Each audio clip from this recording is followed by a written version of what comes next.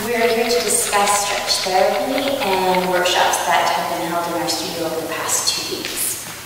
Um, we are feeling really lucky to have crossed paths with stretch therapy and Kit and his work and uh, get to experience it in our own bodies to understand it and, and understand better how we can bring that into our students in their training.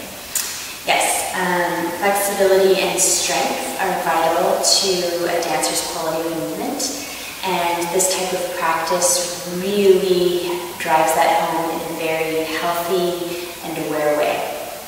I think the, the biggest take-home message that I've had are kind of the, the little cues, both tactile and verbal, and how to kind of look at someone's body and figure out where the problem is and just use one or two words to, to kind of correct that and get them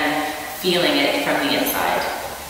And I would have to say that uh, possibility, hope, and inspiration are sort of what has been given to us because uh, as an adult, as an adolescent, as a child, you can achieve all types of range of movement and this practice really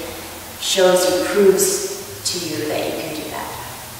I think another really important thing is um, being connected to their breathing while they're stretching, especially for students and, and kind of just reminding them to be, and even with ourselves and our own bodies, um, to be gentle and kind and, and take your time and, and be patient. But along those lines, there's also a level of commitment and hard work, and um, that if you are dedicated to your time, so many great things are possible. We look forward to seeing new students in our classes and